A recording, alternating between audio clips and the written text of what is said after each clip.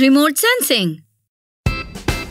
कई मनुष्यों के लिए अभी तक अनखोजे रहे हिममंडल में आपका स्वागत है। पृथ्वी की सतह से उन हिस्सों में जहाँ पानी अस्थायी या स्थायी रूप से जमे हुए या तो हिम बर्फ़ हिमनद जमी हुई ज़मीन आदि है। ग्रह का एक सुंदर और अविश्वसनीय रूप से विशाल हिस्सा जो वैश्विक जलवायु प्रणाली में एक बड़ी भूमिका निभाता है। रिमोट सेंसिंग हमें इसकी प्राकृतिक बाधाओं से परे देखने की अनुमति देता है।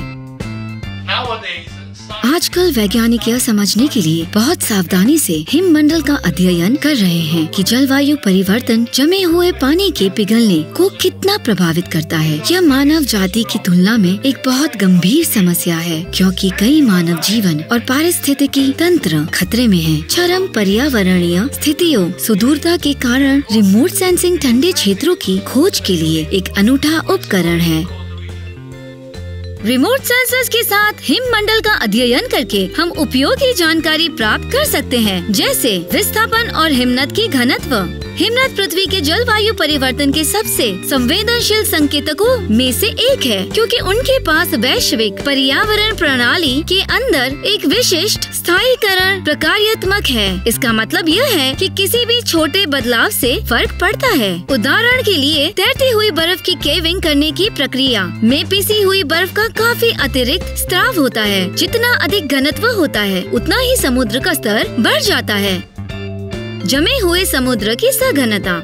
समुद्री बर्फ़ आमतौर पर आसपास के महासागर की तुलना में अधिक ऊर्जा उत्सर्जित करती है, जिससे विनियोजित सेंसिस के साथ दोनों के बीच अंतर करना आसान हो जाता है। बर्फ़ का आवरण और बर्फ़ के पानी का समतुल्यता।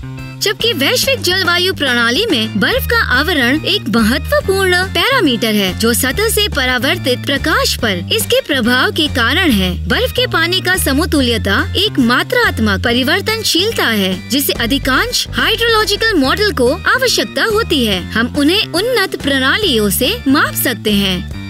समुद्री बर्फ़ क्षेत्र की मोटाई रडार्स और लीडार्स पृथ्वी की ओर स्पंदित रेडियो या प्रकाश संकेतों को भेजते हैं और सेंसर के वापस लौटने में लगने वाले समय को मापते हैं वापसी का समय ये निर्धारित करता है कि परावर्तक सतह तक सेंसस कितनी दूरी पर हैं। एक संदर्भ के रूप में समुद्र के स्तर के साथ समुद्री बर्फ़ की सतह की ऊंचाई निर्धारित की जा सकती है, जिसका उपयोग वैज्ञानिक समुद्र की बर्फ़ की कुल मोटाई की गणना करने के लिए करते हैं यदि हमें पता है कि पतली समुद्री बर्फ़ की सतह कहाँ है तो हम बर्फ़ से ढके क्षेत्रों के माध्यम से जहाजों को मार्क कर सकते हैं।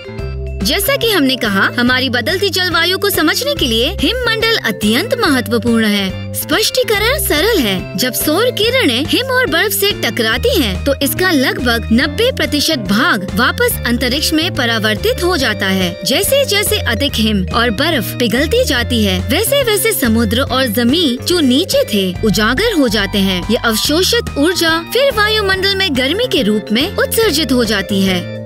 ये प्रभाव तब और भी तेज हो जाता है, जब पिघली हुई ज़मीन मिट्टी में फंसे मीथेन को वायुमंडल में छोड़ा जाता है। एक शक्तिशाली ग्रीन हाउस गैस जो पृथ्वी की सतह के पास गर्मी को बनाए रखती है।